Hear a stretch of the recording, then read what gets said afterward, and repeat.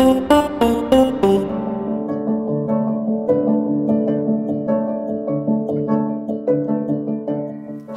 I'm Shane Hale, part of the team at Emerson's Pervasive Sensing Group.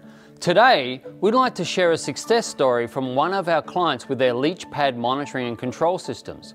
Like any company utilizing leach pads for mineral extraction, they face several challenges to optimize the extraction rate while also maintaining a safe and environmentally responsible operation. With their leach pad operations, our client was struggling with non-uniform irrigation, broken pipes, and clogged sprinklers.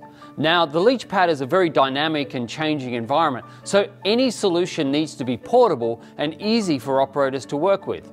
To solve these issues, we worked with the end user to develop fully autonomous portable skids that used Emerson wireless HART pressure, flow, and valve position transmitters.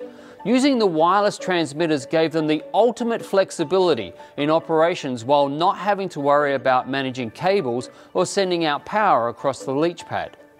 Through the use of these leach pad skids, we help them implement a new strategy for irrigation operation through dynamic skid assignment, maintain a hydraulic balance and irrigation uniformity to achieve better mineral recovery, and reduce manual operation and maintenance routines on the leach pad significantly reducing safety concerns.